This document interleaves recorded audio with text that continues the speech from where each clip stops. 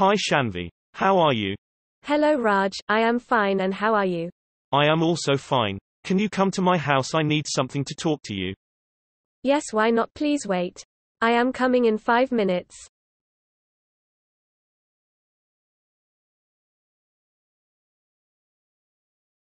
Welcome to my house. Please sit here. Thank you so much. Please tell me. What is the matter? I have some important work for office. If you can do that work today, then it will be very good for me.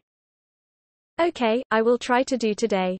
But first you tell to me what type of work. Actually, I want to create some character animation. But I don't know how to do. So please, if you can help me. That will be better. Okay, no problem. I am ready for this work. Okay, thanks. I hope you can do very fast. You welcome. I am going and when my work will be done. I will call you. Okay. Good.